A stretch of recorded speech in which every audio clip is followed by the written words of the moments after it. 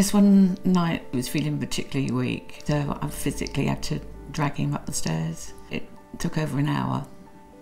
Um, dragged him across the landing, and by which point I just burst into tears, and he just said, "Please don't cry." Victoria.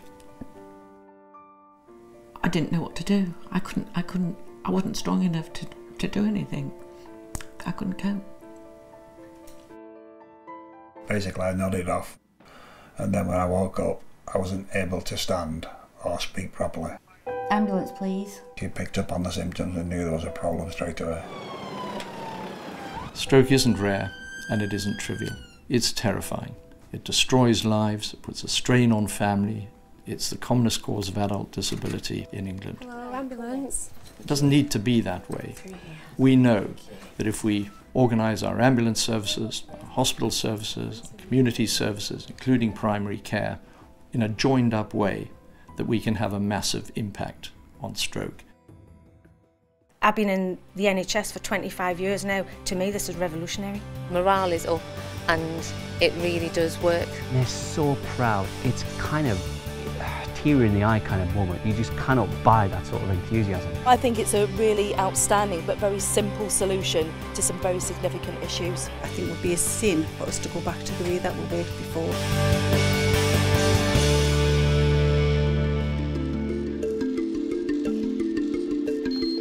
Part of my job involves working with clinical teams to design improvement pieces of work.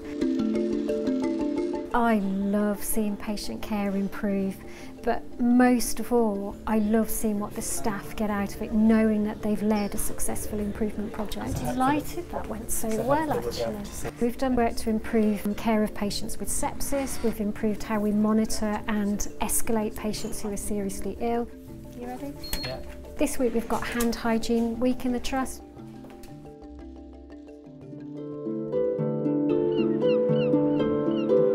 Thanet is a very popular retirement area. Patients in Thanet can be frail at the age of 50. We have um, significant housing growth going on as well over the next few years that will bring even more retired people into the area. We have a workforce shortage. The pressures on practice as a, a result of those um, things is that we've had seven close over the last three to four years a number of our GPs particularly retiring and that trend's set to continue over the next three years. This has been happening over the last couple of years now at least. My stomach was really burny, headaches, sort of hot sweats in the night, nausea. Oh, I actually ended up going to the GP almost every week. I wasn't getting any like answers on what was wrong with me.